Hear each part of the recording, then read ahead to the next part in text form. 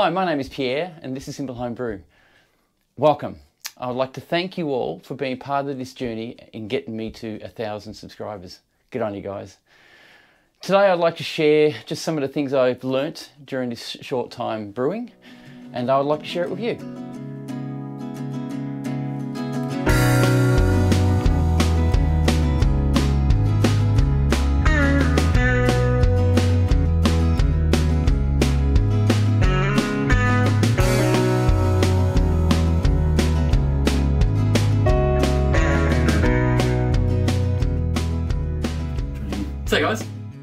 Looking at my analytics for my YouTube channel and I found that 30% of my views on my channel are subscribers. 70% haven't subscribed at all.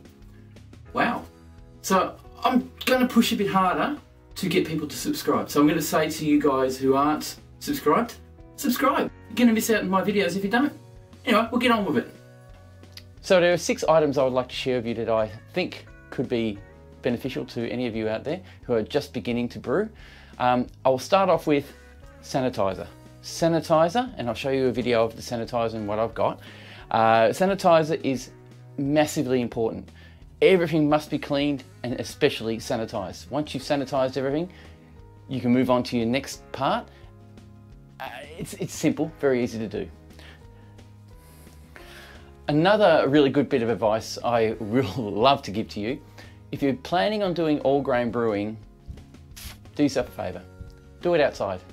Uh, it, as much as it smells good to you, your family won't appreciate you doing it in the kitchen. That's why I built this shed. I built this shed so that I can brew outside and away from my house because unfortunately sometimes some of the hops you put into your brew while brewing can tend to stink, especially all grain brewing. So that is one big bit of advice I'd love to say, love to give you. So another bit of good advice that I hadn't been told, but is just common sense really.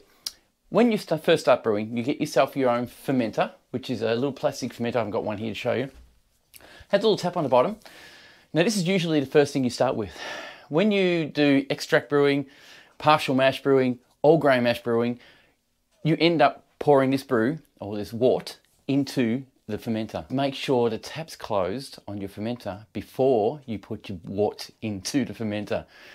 As some of you have seen in some of my video, or one video especially, I forgot to do this and it's uh, quite messy.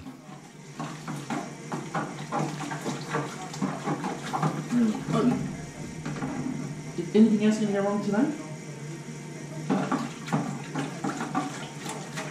Okay. the fourth item uh, is something that I only just discovered recently. Uh, water chemistry obviously is very important in brewing. Uh, don't get too hung up on the water chemistry of your beer. If you're not competing, if you're not going out and competing, and you're making extract brewing or you're making uh, a simple brew, don't stress too much about the water chemistry. The biggest thing only that I could advise you is to get rid of your chlorine in your water from your tap water.